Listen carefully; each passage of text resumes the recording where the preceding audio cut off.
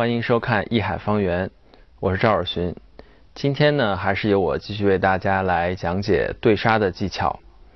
在上一期的节目中呢，我为大家讲解了这个有关于双的啊，利用双的气井的问题来进行对杀的这么一个技术。啊，不知道您掌握的如何呢？好，接下来我们还是先看一下这个上期的问题，我给大家做出正确的答案。这道题呢是黑先，我们来看这个白棋啊，在角上这两颗棋子是将黑棋的这两颗棋子和这边的两颗棋子分断了啊，那么黑棋呢就要想办法吃掉白棋这两颗棋子才行。首先我们看这个，如果直接对杀的话，黑棋是不行的。这样直接对杀，显然黑棋是慢一气。直接对杀不行的情况，我们就只有利用这个，呃，之前说的利用这个双的这个气井的弱点来进行对杀。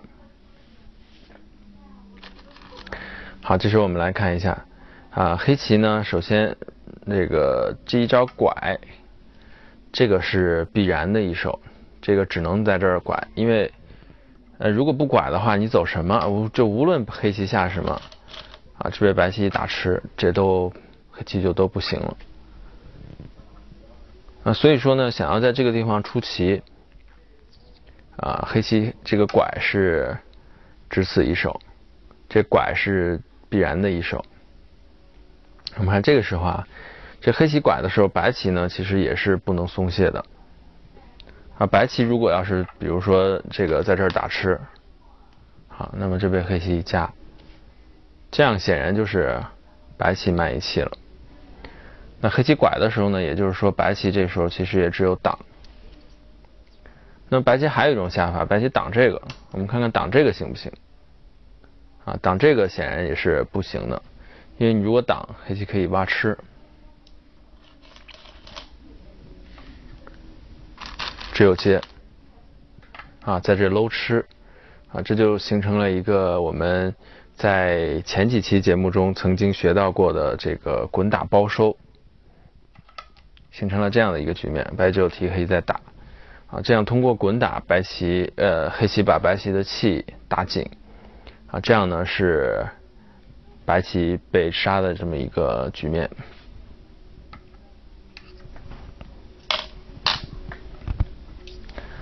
啊，那也就是说，其实黑棋拐的时候，白棋。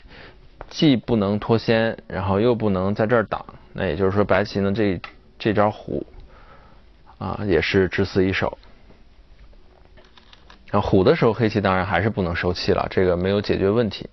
拐一下之后并没有延气，那么这个时候呢，黑棋就要利用白棋这个双，就这个双板凳的气紧啊来做文章了。我们看，首先黑如果挖吃，白棋接。黑如果接这个显然不行，这白棋不论是吃这两个还是吃这三个，都可以将黑棋吃掉。那么只有一路打吃，那这样的话呢，白棋可以提啊，这个提呢是带响的，这个提呢同时也叫着黑棋这个子的吃。那么黑棋如果在这儿打吃的话，就被白棋提掉了啊，那这个显然是不行的。也就是说，这个挖吃被白棋接住之后，啊，黑棋呢就没有了后续手段。这是欲速则不达，这个看上去很着急的去收白棋的气，啊，其实起不到什么好的效果。我们还是再来看其他的下法。黑如果搬，这会怎么样？啊，这个局面下这搬是不行的，因为搬的话，白棋可以简单的叫吃就可以了。大家注意，搬的时候白棋不能跟着挡，跟着挡就中计了。这被黑棋一挖吃，那么这个搬一下跟白棋挡交换，就起到了一个先手将白棋的气撞紧的这么一个作用。那白棋也不能在这儿打，在这儿打呢，这个同样的道理，黑棋一挖吃，这白棋就不行了。啊，但是这个时候白棋可以吃这三颗棋子。啊，白棋这个一路打是成立的。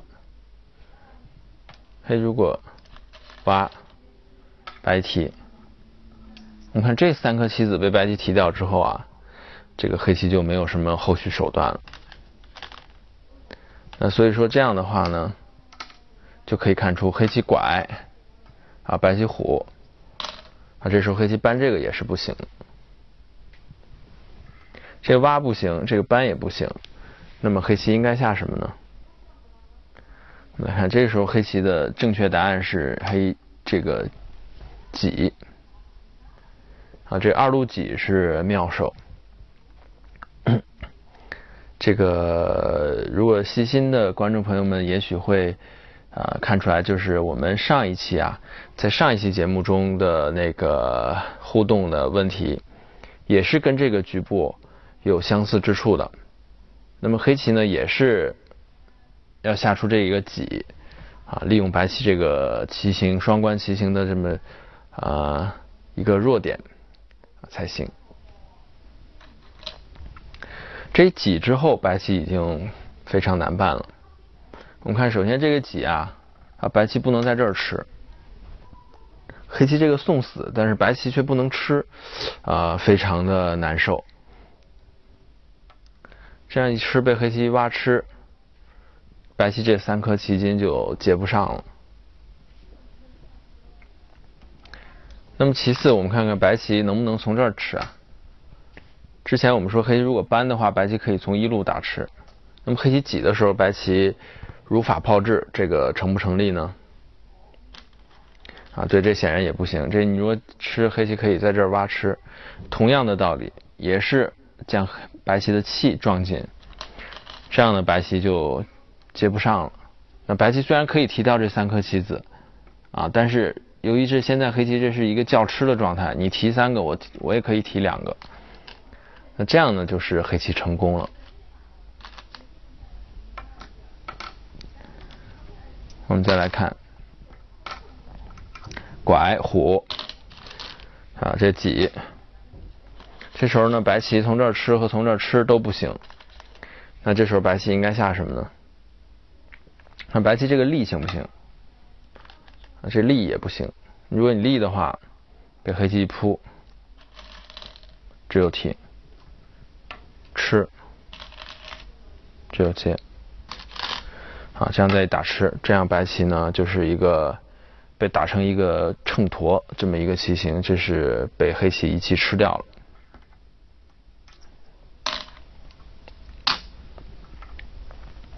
那这个挤的时候呢，其实白棋已经没有办法去吃黑棋了。那这时候呢，白棋其实就两种下法，最啊，刚才我们说的吃三个是一种下法，就是选择转换啊，把黑棋的角吃掉，但是呢，黑棋把这白棋外面这两个子提掉啊，这个转换呢也是黑棋可以的。那么还有一种转换就是白棋吃在这儿啊，这白棋打吃，让黑棋可以一路打吃。啊，注意这个时候白棋还是不能去吃角，反正你要去吃角的话，被黑棋一提，啊，这三颗棋子就接不上了，一接被人家全提了。那所以说呢，这个时候我们看，白棋吃黑棋一路叫吃的时候，啊，这时候呢，白棋的正确下法是提，把这一颗棋子提掉，啊，这样能确保黑棋提的时候，白棋可以接上。啊，但变化下到这儿呢，黑棋就可以把这个白棋这两颗棋子夹死。啊，所以这道题最终的正确答案是黑先，啊，黑棋拐完了己，啊，妙手可以形成转换，要么就是吃两个，要么就是吃角。所以这个局部呢，黑棋一拐之后是有棋的。啊，不知道您是否做出了正确答案呢？好，本期的互动答题环节就给大家讲解到这里，啊，接下来我们进入下一个环节。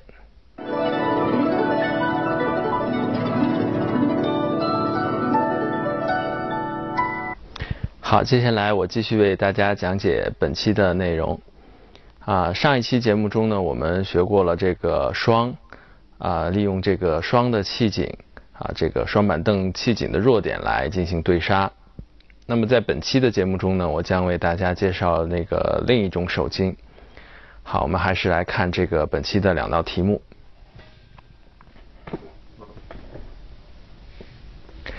啊，首先来看一下图一，这道题呢是黑先，啊，这道题是呃可以说呢白棋虽然不是一个双，但是跟那个双有啊就是双板凳有那个类似的地方，啊白黑棋呢同样是需要利用白棋这个气紧的弱点啊啊进行对杀，可以说这是一个这个。呃，变异版的这个双板凳，这个有点大，这是宽的双板凳。那么好，我们来看一下，黑棋如果要是最简单的下法冲，那白棋挡吃，白棋接，这个下法怎么样？我们看，这个显然是黑棋两气对白棋三气，那么黑棋就是慢一气被杀了。这个冲的时候呢，其实白棋还有白棋接住也可以啊。刚才我们说白棋黑白棋可以挡，这白棋接其实是一样的结果。那你黑棋如果冲，白棋接，这一样是两气对三气。如果搬，白棋加，黑棋再搬。啊，大家注意，这个时候呢，白棋不能随手的跟着他挡，你这样挡被黑棋冲，这样白棋。就不行了，这个接不上了。那再搬的时候，白棋可以从后面打吃，黑接啊，白这个同样这个位置还是不入气，那白棋继续打吃啊，先生这个结果呢是黑棋不行，这个黑棋呢是一个接不归。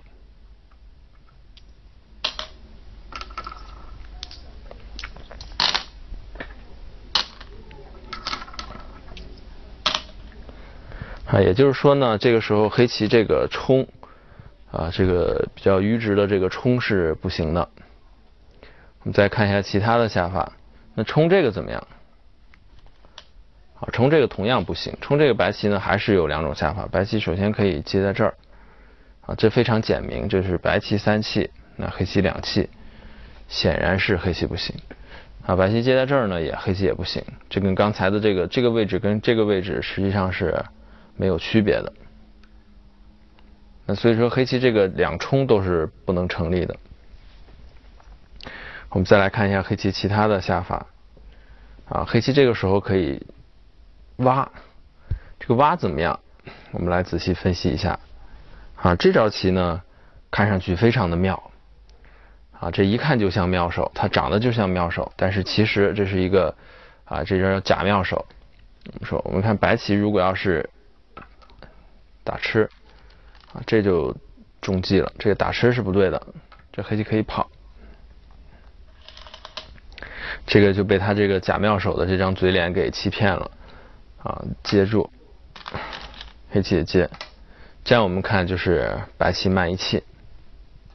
那你接在这边也不行，接在这边同样的道理，人家只要接上啊，这白棋已经被一气吃了。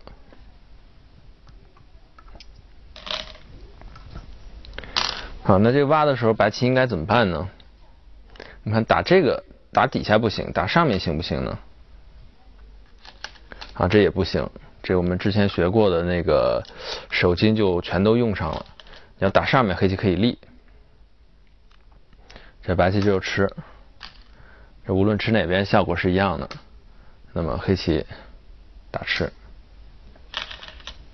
白棋提，黑棋扑。白如果提，那黑棋打，哎，对，这个局部就是一个典型的这么一个秤砣的棋形，是我们之前学过的这个大头鬼啊，啊，就就在这个局部就用上了，这样的话白棋不行。那扑的时候，白棋这个接住也是不行，你如果接，黑棋外面打吃。啊，这样也是白棋慢一气。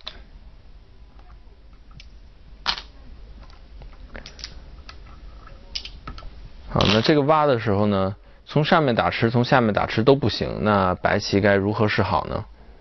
我们这时候来看一下，白棋呢，其实啊不用理会这个黑棋的假妙手，这白棋只要冷静的接住就可以了。啊，这样是黑棋不行，接住我们看黑棋就渡过，白棋打吃，黑棋接，白棋再打吃。黑棋接，啊，这个时候白棋再一吃，你看这样呢，黑棋就被白棋一气吃掉了，啊，这个黑棋只有一口气，这显然是不行的。那所以说呢，对对付黑棋这招挖这个呃所谓的妙手，白棋只需要冷静的接住就可以了。那由此看来，这个冲冲挖这都不行，这都是失败的变化。那黑棋应该下什么呢？啊，黑棋这正解是一路搬。啊，这时候大家要注意，这个搬两边是完全不同的，结果是完全不同的。啊，这一定要分清。如果搬在这儿的话，这是黑棋就不行了；搬这儿的话，白棋可以搬。啊，这样因为这个子不是七金，你把这个子吃掉是完全没用的。这吃的时候人家不会接，他只要接在这儿就行了。啊，这样黑棋就是大大的失败。啊，所以黑棋只能搬在这儿，搬这个是妙手。我们看这招棋妙在何处？首先，白棋一定要阻止黑棋渡过，比如说你收气，或者你去干嘛去，这都不行。这个被黑棋一搬，这就渡过了。打吃，接，打吃。接这个黑棋是可以接上的，这个并不是一个接不归。那所以说呢，白棋这个时候黑棋搬的时候，白棋必须要想办法阻渡。这阻渡就有几种下法。首先我们看一下白棋打吃行不行？啊，白棋打吃的时候，大家注意，黑棋这个是不能接的。黑棋如果接的话，这个棋就形成了打劫了。你看白棋是白棋也不能接在这儿，白接在这儿的话，就黑棋有一扑，这扑白棋有提，这样被黑棋打，啊，这白棋就不行。所以说这个时候呢，白棋不能接在这儿了，那白棋也不能接这个，接这个也不行，接这个黑棋冲，啊，这下一招就把白棋冲死了，这就是三气对两气了。那白棋这时候应该走什么呢？就是这个。白棋这时候就只需要冷静的收气。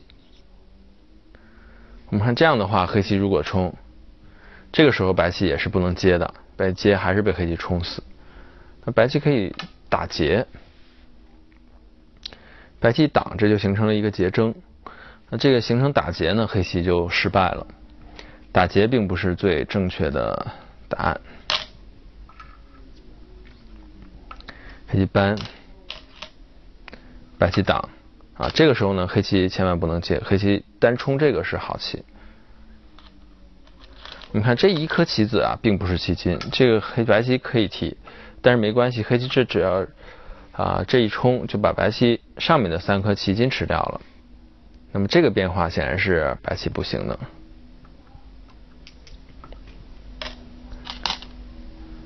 搬挡冲啊，这个时候。白棋如果接，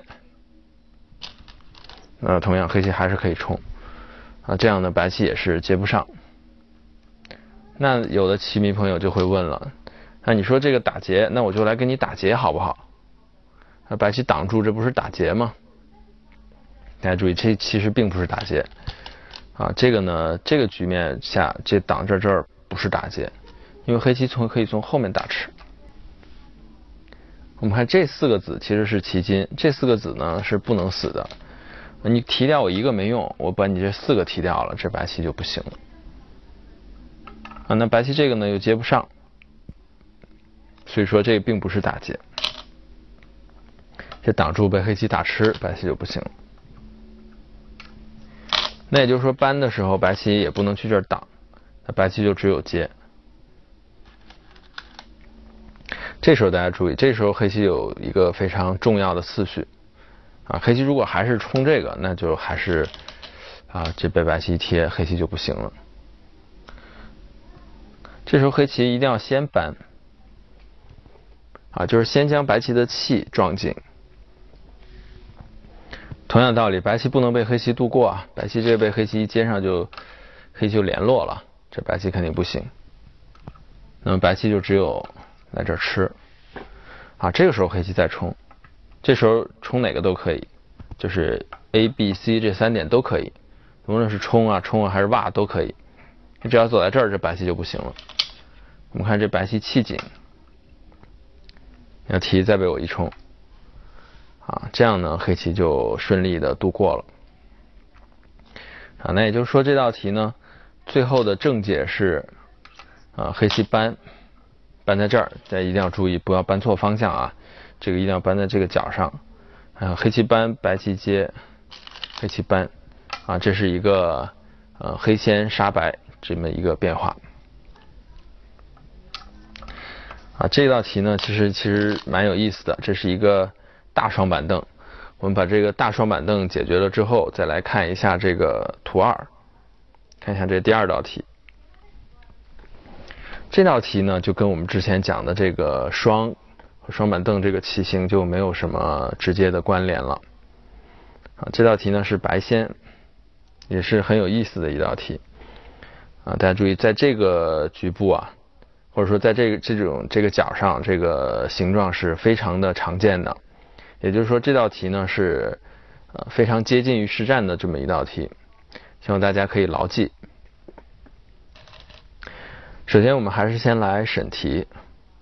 我们看一下，这个白棋一二三四五这五颗棋子被分段，只有三口气。那么这两颗棋子呢也被分段了，也是只有三口气。啊，那也就是说，白棋呢必须要在黑棋与黑棋的对杀过程中，将黑棋的气呢控制在两口气之内才行。啊，首先我们看一下最简单的变化，这白棋如果打吃这个，这行不行？当然，黑棋只有接，嗯。啊，的确，这个白棋的这两招下法确实把黑棋的气控制在两口之内了。但是很不幸的是，如果这样下的话，黑棋可以打吃。啊，白棋这个打吃呢，紧住黑气的同时，自己也撞了一气。我们看这两颗啊，本来是三口气的，啊，现在不经不经意间，现在他只剩下了两口气，那么被黑棋一打吃，啊，这白棋就不行了。那么所以说，我们看白棋 最简单的打在这儿是不行的。我们再来看靠这个行不行？啊，这个靠有的时候也是手筋，这个也是很漂亮的一手，但是在目前的局面下呢，它是不成立的。这靠，啊，我们看黑棋是不能收气的，黑棋如果收气，啊，那就被白棋打死了。啊，但这时候黑棋可以团。啊，黑团在这儿是好手，应该说是一个局部的要点吧。那团的时候呢，我们看白棋这又是只剩下两口气了啊，那没办法，那白棋就只有力。因为你收气不行，我们之前讲过，收气就被黑棋吃死了，那只有力。这力的时候，大家注意啊，这个时候呢，黑棋不能再纠缠着与白棋这啊这三颗棋子进行对杀了。啊，你如果比如说看见这个，哎，这我不是可以搬吗？啊，这搬可以那个搬进角啊，啊，这就大错特错了。这个时候你搬的话，白棋就有两种下法都可以吃掉黑棋。啊，首先白棋这个断就可以，这是一个著名的大头鬼，这个我们之前曾经多次讲过，这拐十这个局部是一个大头鬼。啊，那么还有白棋其实搬在这儿也可以吃掉黑棋。那黑棋这一点是不入的，那黑棋接上，白棋再接，黑棋也只有两口气，就是搬这个是不行的，你收这个也不行，你收这个的话，白棋一紧，我们看这个叫做金鸡独立，这白棋立下来之后，这两边黑棋都不入气，这样黑棋就不行，啊，但是其实这个时候很简单，黑棋可以。不必纠缠着与白棋这三个子对杀，黑棋只要收上面的气就行了。啊，这白棋虽然是五颗棋子，但是它其实只有三口气。那么黑棋一紧，白棋就只剩两气了，黑棋自己还有三气。啊，那这样显然就是白棋慢一气被杀。也就是说，靠这个也不行。这时候我们可以得出一个结论，就是说黑棋这个团啊是一个要点。那所以说呢，白棋必须要先阻止它占据这个团的要点。那白棋就只有先打吃。这道题的正解呢是白一打吃，那黑棋只有接。这个时候我们再来看，这白棋应该下什么？那这时候白棋呢，首先在这儿搬是不行的，搬人家拐，你只有去补断点，啊，这样黑棋就可以把白棋吃掉了。啊，那么再来看搬这个，搬这个行不行？搬这个呢是比较呃接近于正解，但是它并不是正正确的答案。搬这个是不行的，搬这个黑棋不能打，黑棋要打的话就中计了，这样白棋可以掐吃。黑如果提，白打，这样黑棋就被一气吃了。那你如果拐，是不是白棋一提？这样我们看黑棋就只剩下两口气，那白棋还有三口气，黑棋显然是不行的。那么也就是说，白棋搬的时候啊，啊这个时候黑棋呢是不能打的。黑棋但是有一招这个弯，黑棋弯是好手。白棋爬，黑再立。你看这个时候白棋啊始终是不能松的。白你比如说这弯一个的话，人家就把你收死了，因为黑棋有三口气。那白棋只有紧着走。但你如果靠的话，啊黑棋可以虎。啊这样的话黑棋即使收气，白棋也不行，这两边不入气。那么白棋黑棋还可以吃这个，这就是一个有眼杀无眼。这样白棋也不行啊，所以说这个时候呢，白棋其实这个扳是不成立的。那白棋的这道题最关键的一招手筋就是这个夹啊，大家注意这个啊，在这样的角上，这加一个是局部的手筋，这加黑棋只有拐，这样白棋再度过，这很简单，黑棋就只剩下两口气了。那么三气对两气，显然就是白棋快一气。那么这道题呢，通过这道题我们可以啊学到一招手筋，主要就是这个脚上的夹啊，这个夹非常的常见，请大家一定要牢记。那么好，今天的这两道题目就给大家讲解到这里啊，接下来进入我们今天的互动环节。